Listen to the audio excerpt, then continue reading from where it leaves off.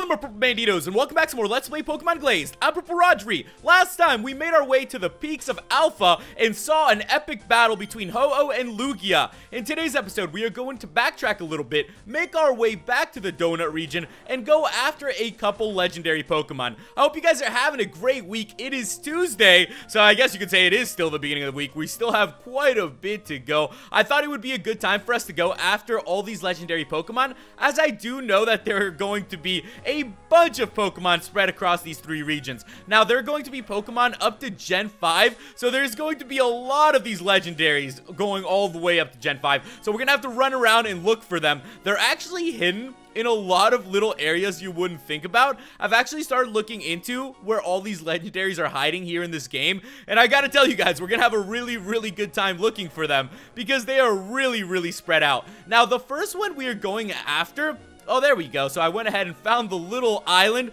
I knew there was going to be a little island with a house in it. So we also found a rare candy. I'll go ahead and take that. Let's go ahead and make our way inside of Soheel's house. And this is where we will be finding a legendary Pokemon. Oh, my name is Soheel. People don't usually come to visit me. Not many people know it, but I'm gonna leave for in a different league. So we're gonna go ahead and take this guy on in a bit of a battle.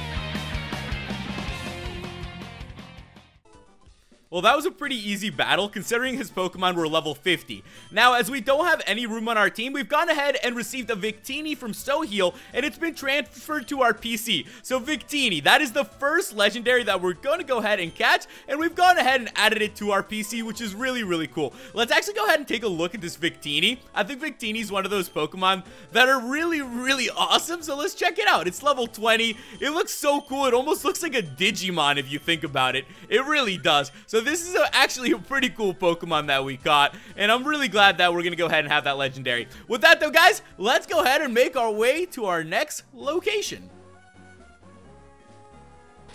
Now, as I said, we're back here in the Tunod region, so we've actually explored this area before. This is on the way to the Pokemon League, to the Tunod Pokemon League. So I'm going to go ahead and show you guys on the map where we are really quick, so you guys don't get too lost. So we're pretty much at the Tunod League, right before it, very close to where we need to be. So let's go ahead and make our way inside of this place before. Now, this is an area we did explore before, so this is Mount Furnace. We ran around here for a little bit. There really wasn't much for us to do, so we didn't really explore it too much. But now we're actually going to get the chance to explore it because there is going to be another legendary Pokemon here, which is going to be really, really good. You know, all these little areas and these little caves that I feel like we saw earlier on in this adventure, now we're turning out to have all these little hidden Pokemon in them and all these little secrets, which is going to be cool to see. I know that we're going to have the chance to explore a lot of these three regions that we've had the chance to go through again, so we have still quite a bit of adventuring in store for us. Now, let's see where this is actually going to be taking me. I hope this is taking me in the right direction. I've also gone ahead and stocked up on a couple things, so I think we will be good going into this legendary hunting. I have a bunch of max repels, and as you guys were able to see, a couple Pokeballs that I'm sure are going to be able to help us. I think this will be the cave, and whoa, there we have it, guys. So Reshiram is actually in front of us. I come to this volcano to recharge. You, trainer, the fire in your eyes burn fierce. It intrigues me. Let us do battle. All right, guys, here we go. Rodri versus Reshiram. So let's go ahead and take this Pokemon on. Now, as I told you guys, we are going to have a little bit of an easier time because, thankfully, they actually sell Master Balls here in Pokemon Glazed, and I've gone ahead and picked up a couple for us today so that we can actually use them against these legendary Pokemon. So with that, guys, there we have it. Reshiram has been caught. It's only level 50, so I don't think it would be that difficult to battle, but having these Master Balls in the Master Ball shop in this game just makes it that much easier. With that, we've gone ahead and caught Reshiram, so let's go ahead and give this Pokemon a nickname. I'm just going to give it a simple nickname, you know, just one of those that just kind of stands out. We're going to call it Rez. So with that, Rez has been transferred transferred to the PC, and we are ready to continue on to another location. We found a fire plume though, so make sure you guys keep that in mind because that is definitely going to come in very, very handy. Very, very handy, I gotta tell you guys, in our adventure. Alright, with that, I'm gonna go ahead and take us to our next place. Okay guys, so we're here in Ocean View City now. So a lot of exploring here in the Tunod region. These are all things that we probably could have done right after defeating the Tunod League, but I kind of wait to catch legendaries till the end of the adventures because I think it's, you know, a little bit more fun to just go exploring and catching all of them and finding their little hidden spots once you can go across all the regions. So I think that's what's really cool about that. Let's see where this is headed though. If you guys remember, this is actually where we kind of first started talking to RSP, so it's kind of funny that RSP is now on our team as well. It looks like we made it to the top though, so now this is an entrance we couldn't access before, but now we are finally able to. And with that, guys, up ahead, it looks like we have Zekrom. That, that is actually kind of terrifying to see him on top of a building. This place, I come here to recharge my dwindling electricity. Trainer, I sense the power in your heart. It rivals even my own. I would enjoy the chance to battle you. Here we go, Rodri versus Reshiram and Zekrom and all the other legendary Pokemon here in this place because we've had to go up against so many already and we still have quite a bit to do. Alright guys, we're gonna head and take on Zekrom. Now, another Master Ball is going to go ahead and catch this guy, so we should be good to go. And there we have it, guys. Zekrom has been caught, so very cool. Every time I see a Zekrom, I got to tell you guys, it's one of the most intimidating Pokemon. I don't know about the Reshiram, but the Zekrom is one of those Pokemon that are definitely really, really scary. All right, so we're going to go ahead and give this guy a nickname. We're just going to go ahead and uh, call this Pokemon Zek. So with that, Zek has been transferred to the PC, another legendary in the bag, and with that, guys, we found a Thunder Plume. Ooh. Let's make our way to the next place. We are in Cape Azure, and now that we do realize that there's a little bit of patterns with the plumes, we have to go after another legendary Pokemon, which will balance out the trio, right? So with that, guys, we are gonna go ahead and make our way inside of the Icicle Tunnel because it is here in the Icicle Tunnel where we will be going after another really cool legendary. Now, the cool thing about this is that it's really right at the entrance. They pretty much left all the legendary Pokemon we're going after at the entrance of caves, so they're pretty easy to find. With that, guys, there we have it. Look at this beast. Let's go ahead and talk to Kyurem.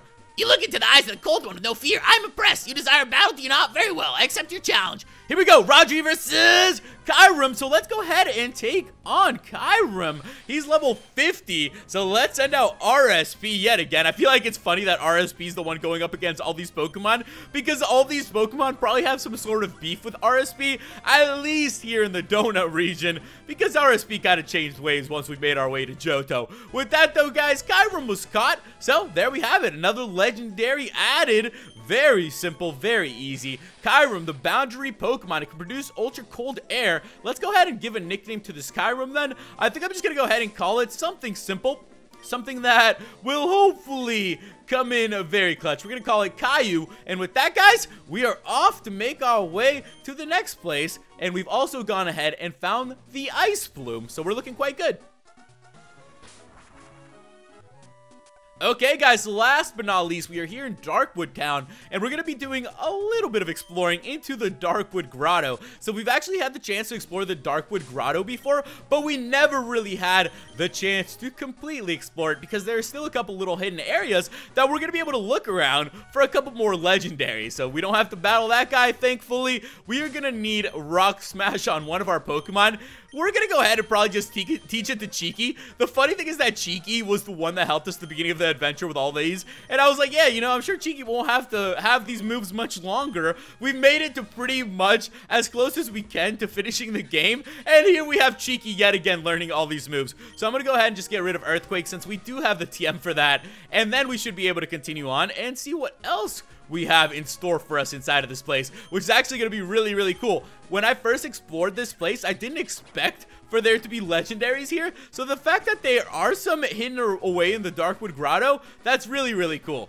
What is this, a human in our private chambers? I demand you leave at once. We don't deal with humans, such cruel creatures. I'll take care of him, boss. Don't fret.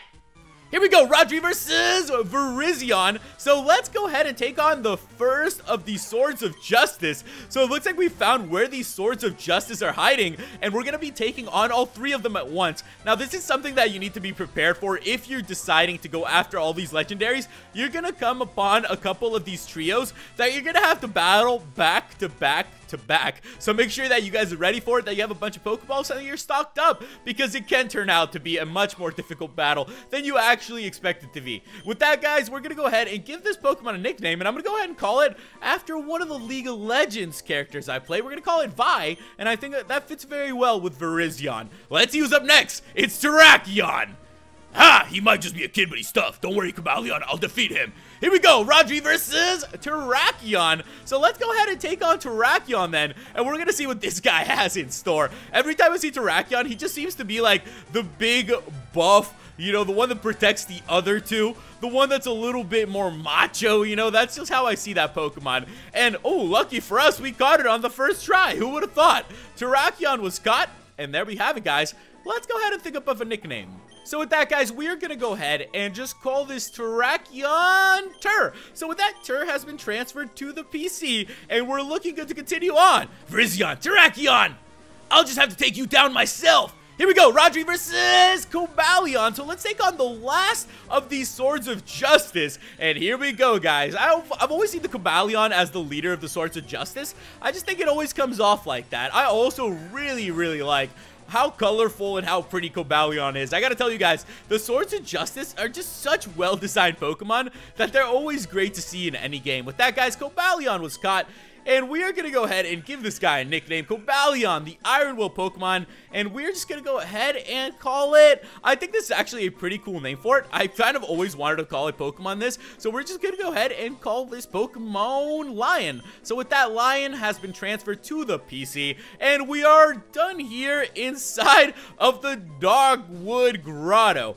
I may have gone too far. I like that. He, our, our own character knows that. We probably shouldn't be catching these many legendaries in one go. But hey, that's what you have to do, right? All right, let's go ahead and get out of the Darkwood Grotto. Now, I actually have a surprise for you guys. We still have one more thing that we need to take care of today. And the cool thing is that we're actually going to be taking care of it here in Darkwood Town. So if you guys remember, we actually made a wish before at the wishing well. We actually wished for peace, but that is not the answer that the fountain was looking for. So here in the Fighter's Fountain, we can actually go ahead and enter another little code which will grant access to a special area. So we're going to go ahead and type in justice. I believe that's what it is. Let's see if that does anything.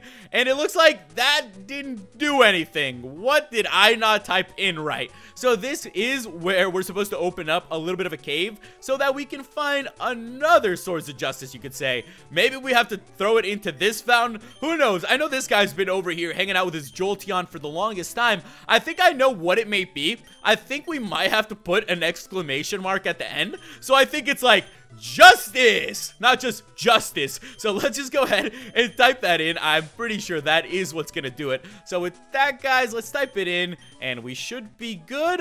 We made a wish and there we have it, guys. Very cool. A cavern opened up. So let's go ahead and make our way inside of the cavern. Now, justice is what apparently we have made our way into the cave of justice and there we have it guys this is the fourth member of the swords justice I do wish I do wish for justice are you capable of bringing it let us find out here we go, Rodri versus Keldeo. So let's go ahead and take on the fourth Swords of Justice Keldeo, the little level 40 Pokemon. Every time I see this Pokemon, it's just so adorable. It's hidden away. It's kind of cool that we could have actually found this Pokemon earlier, but hey, I didn't know the code to getting into this fountain. With that though, guys, there we have it. Keldeo has been caught, so we're doing quite well. We've caught a bunch of legendary Pokemon today. So with that, guys, Keldeo has been added to the Pokedex. We're going to go ahead and give this guy a bit of a nickname now. I'm just going to go ahead and call it pretty much what I've been calling everybody else. We've been giving everybody little cool nicknames, but this one, we're just going to go ahead and call this Pokemon after the password that we used to get inside of here,